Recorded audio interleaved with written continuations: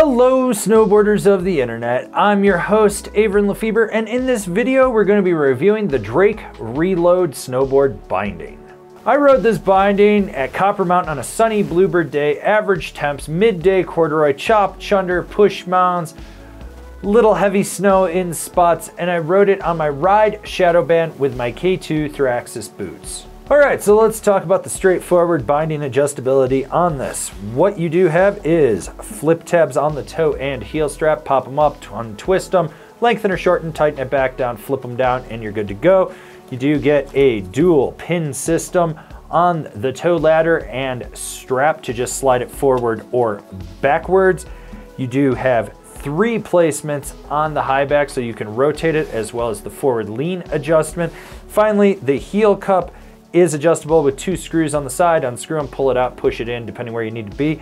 And the toe ramp has three placements, so you can push it a little more forward or a little more back just to center it underneath your boot. When it comes to the straps, you have foam and rubber mixed for the toe strap with this weird cutout, which I still don't know what boot shape is designed to really fit in there other than possibly a Northwave but it does grip when you finally get it set right. It took me a while to get that thing dialed in, and even then, still isn't the best toe strap I've been on.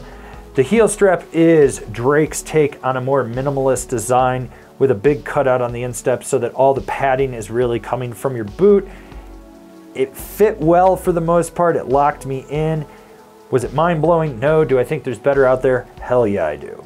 All right, so when it comes to the ratchets, you got your toe, your heel ratchet. They're not uniform. You get a one finger quick release on the heel. You don't have that on the toe. These were sticky right out the box. So what I noticed was that it took a little more effort to release the heel strap and it took even more effort to release that toe strap. Probably because it didn't have a tab that I could grab onto with it. They climbed well. They did break in more as the day went on. They weren't as sticky, but right out the box, that was something that I just noticed. Trusted these more than I did the 50s, but at the end of the day, this is a ratchet design that I'm pretty sure that they were using at the turn of the century. With the high back, nothing mind-blowing here. It does have some lateral give to it, but when you drive into it, you can actually feel a little more rigidity down the center. This gives it a little bit more response. Like I said, nothing mind-blowing here.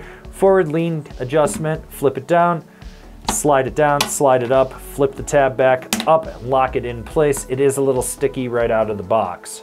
The overall flex of this binding comes in around middle of the road. You do have a bigger dead spot due to that disc, and if you look at this disc, it's big. It still has a three hole. So what that's gonna do is give you a bigger dead spot underfoot. Heavier weight riders rejoice. Anyone that wants a mini disc with more binding feel, sorry, you're out of luck. You do get some lateral play. The straps have some give into it. Like I said, it's around a middle of the road flex. Overall, nothing mind-blowing here.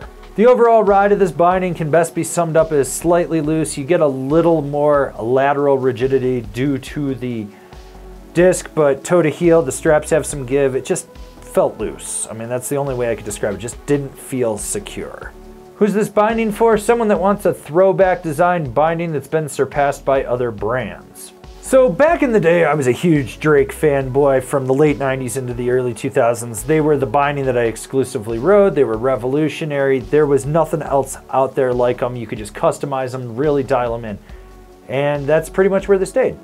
Nothing's changed. I mean, the fact that their disc still has a three-hole pattern, come on.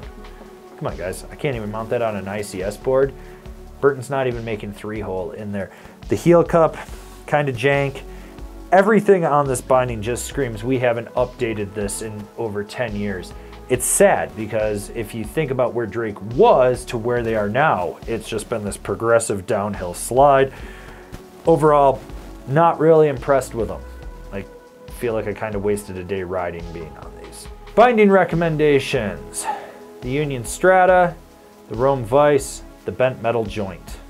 This has been my review of the Drake Reload binding. Do you agree? Do you disagree? Do you own a pair? Are you going to buy a pair? Leave me a comment down below. Let's have a conversation about this binding. If you're new here, remember to subscribe, click the bell, get those notifications. That way you're not missing any of the videos we got coming out for all you snowboarders of the internet. And if you really like what we're doing over here and you want to support us further, swing on over to Angry Snowboarder VIP and become a member. Sure, I could tell you more here, but I got a video over there that explains it so much better. As always, I've been your host, Avran LeFeber, and I'll see you in another video.